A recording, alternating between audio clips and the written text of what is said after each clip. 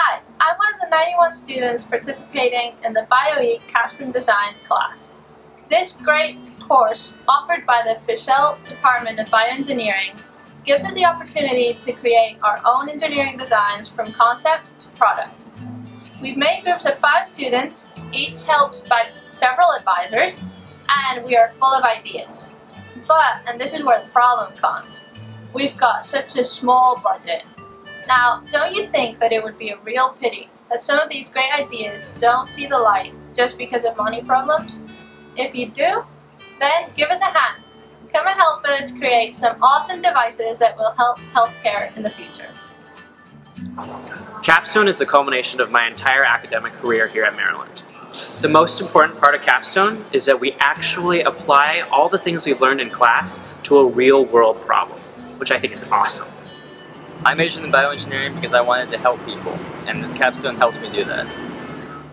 My group is considering working on a project that will help monitor artificial heart devices better. We're looking to design a novel patient lift that will allow patients to be easily transported to different locations so they can receive the best care. My team is focusing on rehabilitation robotics. We are the uh, winning capstone design team from the 2014 school year. We took a, a, design that we thought was going to really make a difference in the lives of patients and developed a prototype out of it. Our winning design is an ultrasound pulse monitor for low flow states that removes the inaccuracy of the manual pulse check. Uh, following the school year, we decided that uh, we were going to patent this device and move forward with our plan. It's always challenging to raise funds for medical devices, and our resources are limited. So we're looking to you to help our students design new medical devices that will revolutionize healthcare.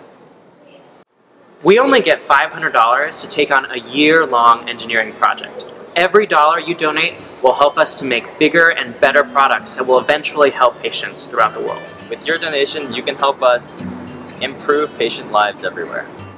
With your help, we can develop 18 new medical devices.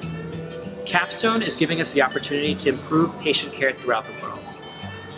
So come on guys, those $5 that you're gonna spend at Starbucks, give them to us and you'll get better healthcare in the future.